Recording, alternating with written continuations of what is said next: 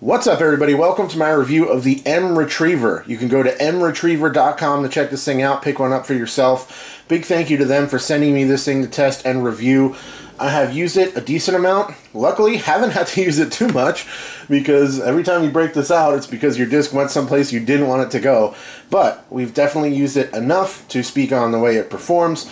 I have a little bit of footage to um, kind of insert here with me and James fishing some discs out of the creek to see how, how that works as well. And um, overall, I think it's a really solid product that I'm quite happy with. So let's take a quick look at it. It's got a pretty sturdy handle here. It doesn't seem like it would really break down much at all over time. It's got a good grip to it. Um, it's nice and snug on the base of the of the pole there. It doesn't slip or slide at all. Has this um, lanyard on the back here that you can use to hold on to it, although not super necessary. Um, I guess this is more to like hang it because I, I can't fit my wrist through there. So like you could do that, loop it through your fingers and stuff. You want to make sure you don't drop the uh, retriever. That could be helpful, I guess. Here it says mretriever.com, and you can uh, personalize it here on this label if you want to like write your name and number in case you lose it or something like that. Probably wouldn't be a bad idea for me to do that. So here's the actual retrieval um, head on this thing. It adjusts as you can kind of swing it around. Um, here are like there's like little barbs in there. So the way this works is if you have it kind of angled slightly down, you scoop it underneath the disc as it sits there, and once it gets into there, it kind of locks in pretty good. You can see how those barbs kind of line up onto the inside rim of the disc and once it's in here it's pretty sturdy. Um, once you kind of scoop it into the cradle and it kind of locks into place here it's quite easy to pull it out. You know, once you get it in into this position right here, you're pretty much good to go. You're definitely at least going to get it close enough that you can um, retrieve it again if it happens to fall out halfway down or something like that. You'll definitely get it to move from its original location once it locks in here. And from our experience, once you get it to this position, all you have to do is just reel the thing in and um, I don't even collapse it as I go. I'll just pull the entire thing um, backwards through my hands, reel in your disc, and you're good to go. We've used it in the pond at Rooster Rock no problem. That was the first time I think I had to actually break it out. Andy was able to fish out his disc with no issue. Um, that was great. We also, I used it at Dabney, not necessarily from a place that I couldn't get to, but it was just much more simple for me to just reach down and pull it out of the creek rather than try to like climb down the creek bed and any of that kind of stuff where if it's just down somewhere where you don't want to climb down there, even if it's not in the water or anything like that, if it's out of bounds or if it's an extra shot or it's a casual round, you're like, I'm not climbing down there to get it. This thing works really well just to, to kind of fish it out from anywhere that you can't reach. So we also, um, you'll see some footage here of me and, of me and James out at um, Timber, fishing it out of the, the creek. I had to break it out on the same exact hole um, at Timber a couple of days ago over the weekend to help my buddy fish his disc out of the water and um, it works great. Really, I have almost no issues with it whatsoever based on my uh, testing so far. Like I said, I haven't used it a ton, but I've used it enough to determine that I feel like it's a really solid product that works well. It doesn't take up much space um, on my cart. It works out quite well. I can actually just kind of slide it onto the back of my Zuca cart and tuck it behind my bag there. It's completely out of the way, and there's no problems whatsoever in terms of, uh, you know, having it with you. Um, if I were to be headed out on a round and didn't have my cart, that's where it gets a little bit more interesting because it's a little heavy.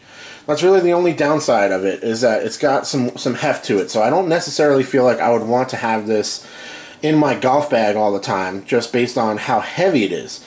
That being said, if you go play a lot of uh, courses that have a lot of water, if you play a course that has a lot of creeks running through it, or anything along those lines, it could be well worth the um, the uh, weight you're going to carry. Honestly, it depends on on your perspective. Certain courses that I may go to, I will make sure I have it, um, even if I'm going to carry my bag. I might want to bring it, or you could always leave it in the car. And if you get a disc lost, you can always walk back to the car and get it. It's not ideal but you could totally do that if you like have a really small bag or something. Could be a, a, nice thing just to have laying around in the car in case you get into some trouble. You can go grab it and um, hopefully fish your disc out before somebody else does. But all in all, that's the really only downside I can think of um, in terms of the way this thing works. um, is that it's just a little heavy. You know, it's a it's a metal product. It's sturdy and it's nice and it extends super far. Um, uh, the video probably won't really give you the perspective of how far this thing really extends out. Um, I showed you guys in my initial video. I extended out my window so you can see how far it reached out. That also doesn't really give you the perspective. It, it really like when you extend it fully and you're holding it, it almost it's almost kind of funny uh, because it extends out so far. But um, it really works well. It's far, far better than trying to find a stick or anything like that. So if you bought one of these for yourself and you saved a couple of discs, it could be one disc. It could be that one disc that you really love. It could make it all worth it, you know. Um, and if you're playing somewhere that has a lot of creeks and ponds and stuff, you could be fishing out discs all the time and um, definitely make it easily worth the money um, to, to have bought this thing and added it to your uh, bag or your cart. I'm going to show you guys a quick um, look at how it looks on the back of my cart. And I also want to show you something else interesting that I have found out about this thing. So, here's my Zuca, and all I've really been doing is I just kind of put it right behind my bag here and tuck it down into the cart like that. And it's basically completely out of the way. A couple of times it got a little bit snagged on some branches or something like that, but um, it's pretty much fine. And you can you can unscrew and take the head off of it if you wanted to and um, stash that like underneath or something like that if you feel like it's in the way. But it doesn't bother me at all having it there. And I've noticed that I can extend it straight out like this and just pull it straight up. And I can actually attach my phone to it and use it like a um, like a monopod or like a phone mount to film myself. Let me show you how that works. So I've noticed that I can actually just put my phone right on this um, little shelf here and then I made a little loop of paracord to kind of cinch it on there and then as it sits on my cart I can kind of just pull it straight up and it'll extend upwards and I can put my phone on there and I can film myself um, throwing shots out there on the course. Nice little handy extra thing that I noticed this thing can do and um, I've used it for that um, a decent amount so far since I figured that out. So all in all, I really like the M Retriever. I definitely recommend checking it out if you um, find yourself constantly trying to fish discs out of ponds with a stick or you find yourself going swimming or any of those things. I think it's a, a really nice investment for that.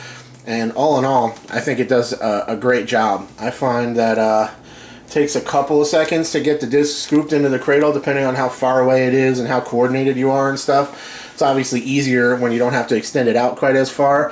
Um, but once you get it pulled into that little cradle there, you're good to go. And uh, definitely seems to be solid. I will report back if any issues come up with this thing, but it also does have a warranty. And I've heard from multiple folks that even if they had problems with like, I've heard a couple people say that this this piece comes stripped. Uh, eventually, it might happen.